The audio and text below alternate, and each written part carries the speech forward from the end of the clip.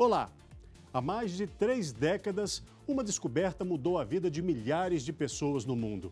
Os cientistas identificaram o vírus da AIDS. Eu sou Alexandre Matula e este é o Repórter Justiça, que hoje vai mostrar para você as histórias, os avanços nas pesquisas para o tratamento e a esperança da cura da doença.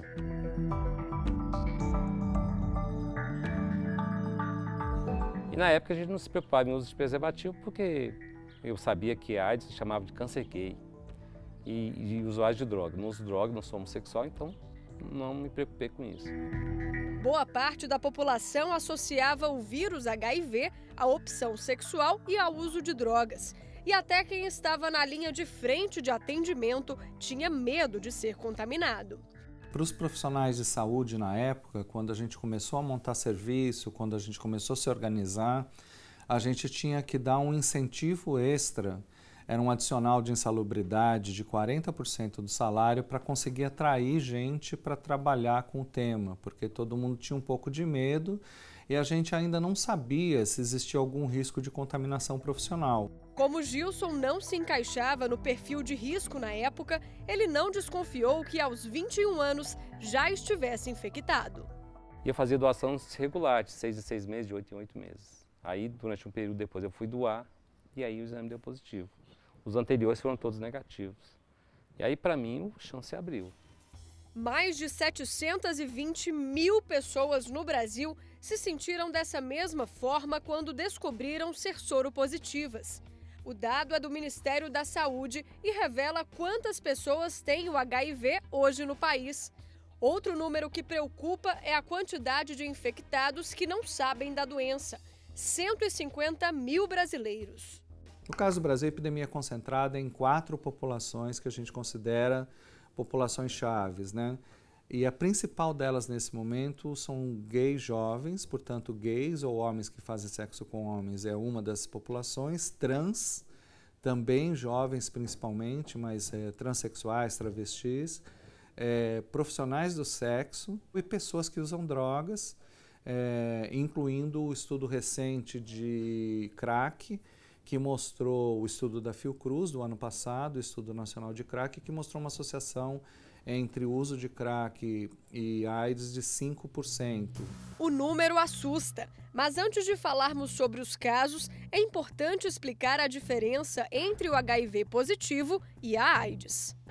Quando o indivíduo faz o teste e dá reagente, significa que ele é portador do vírus, né, do HIV, Porém, ele ainda não adquiriu a doença, que é a AIDS, não é? A síndrome da deficiência adquirida. O portador, ele tem tempo de se tratar. Agora, a pessoa já com AIDS, ela já tem vários sintomas, ou seja, ela já adquiriu as doenças oportunistas, as doenças de pulmão, né? E outras doenças que são características às pessoas com AIDS. De acordo com a ONU, enquanto o número de infecções por HIV cai no mundo, no Brasil elas crescem. Entre 2005 e 2013, o aumento foi de 11%.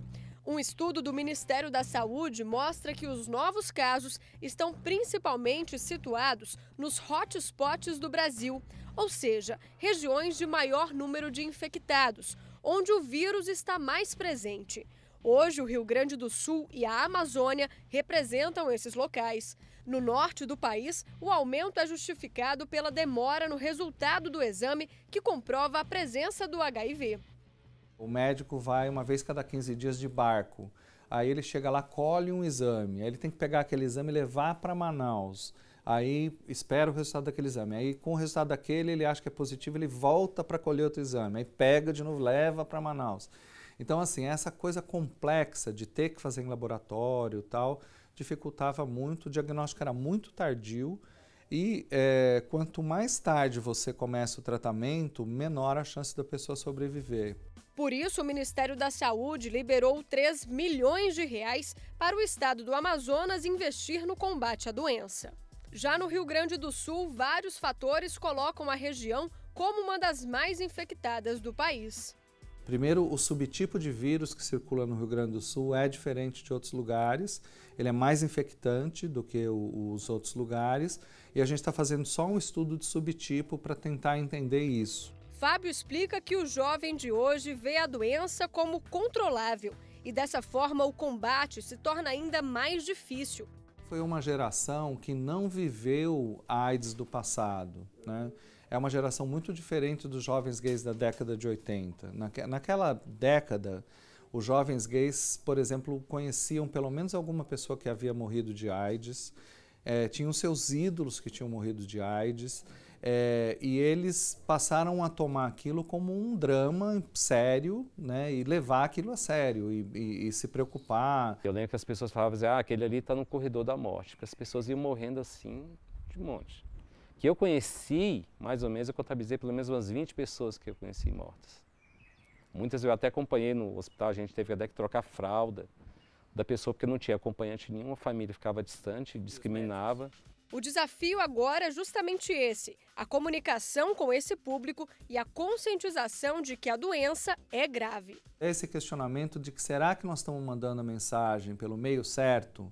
Será que nós estamos mandando a mensagem certa? Para chegar até esse público, o Ministério da Saúde criou uma estratégia com testes orais. A gente mesmo que faz, a Regina vai me ensinar. Regina, então, qual que é o primeiro passo? Eu te dou essa haste coletora uhum. Para você passar friccionando a gengiva entre os dentes na parte de cima quatro vezes e embaixo quatro vezes. Aí você me entrega a haste que vai ser colocada numa solução eluente onde os anticorpos presentes nessa haste serão diluídos. Ela tem um ponto de quebra, então, então o material aqui dentro, fica né? aqui dentro.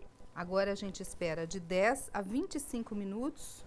Apareceu uma linha ali, resultado negativo.